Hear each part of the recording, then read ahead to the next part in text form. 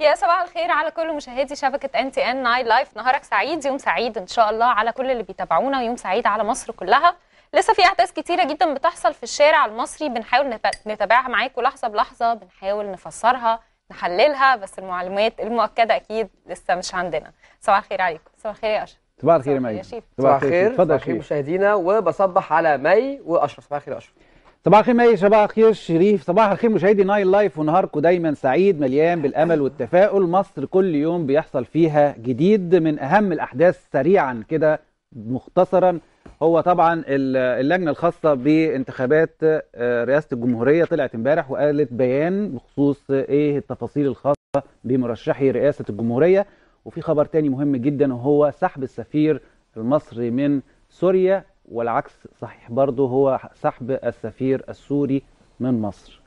تحية للشعب السوري. ربنا آه، آه، يعني يقف جنبكم ويتمنى الهدوء للشعب السوري. ده اتمنى أكيد وأكيد هيبقى عندنا كلام أو يعني تغطية عن هذا الموضوع من خلال فقرة الصحافة واللي هيكون فيها ومنورنا الأستاذ الصحفي أحمد سامي متولي وهو الصحفي بالمصري اليوم. في فقرة خاصة عن الأحداث الجارية بقى عموما. في مواضيع كتيرة جدا حصلت مم. في الساحة فهنطرحها واحدة واحدة كده. هنحاول ناخد فيها رأي أستاذ أسامة سلامة رئيس تحرير مجلة روزا اليوسف.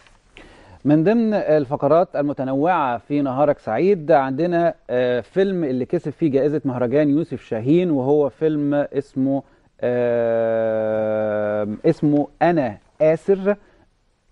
أنا آسر وهو ضيفنا هيكون المخرج الخاص بالفيلم وهو رامي رزق الله.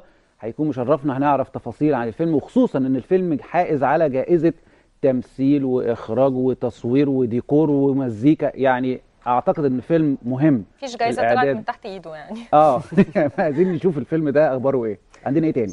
بعد الثورة كان في كلام كتير جدا عن الأموال المملوكة للدولة والأموال المملوكة للأفراد وممتلكات الدولة وممتلكات الأفراد. وعشان كده هيكون معانا فقرة خاصة جدا. هي مش بس مهمة اللي بتتكلم عنه أو المكان اللي بتتكلم عنه وهو قصر الطهرة. هل قصر الطهرة هيرجع لأسرة محمد علي لأن الطهرة هو اسم الملكة فريدة. وعلشان كده اتسمى قصر الطهرة. هل ممكن فعلا يرجع لأسرة محمد علي؟ ولا كما كان مخطط إن هو يفضل من ممتلكات الدولة. وكان كما قيل في فترة من الفترات إن هو كان بيجهز إنه يكون هو قصر الرئاسة الجديد واللي تحكم منه مصر مع برضو اللي كان بيقال كمخطط لإن جمال مبارك يكون هو الرئيس الجديد لمصر. هنعرف أكتر ده من خلال مش أي حد مش بقى المحامي ومش حد من بره لكن هنعرف ده من خلال حفيد شقيق الملكة فريدة وهو سيف ذو الفقار حفيد شريف ذو الفقار أخو الملكة فريدة. شخصيا هنعرف بقى منه كل حاجة بالتفاصيل. تعرف لنا اشمعنى قصر الطهرة يعني في قصور تبع للأسرة المالكة كتير جدا في مصر اشمعنى ده بالتحديد؟ هو في قضية مرفوعة حاليا. هل القضية دي مرفوعة من قبل الثورة ولا بعد الثورة؟ حضرتك بقى إيه تتوغل مع الحفيد في هذا أتوغل. الموضوع. سريعا آه، نروح لفاصل ونبتدي مع زميلي شريف وفقرة الصحافة والصحفي الأستاذ أحمد سامي متولي بجريدة الأهرام. نهاركم دايما زي الفل. دايما. دايما وابدا.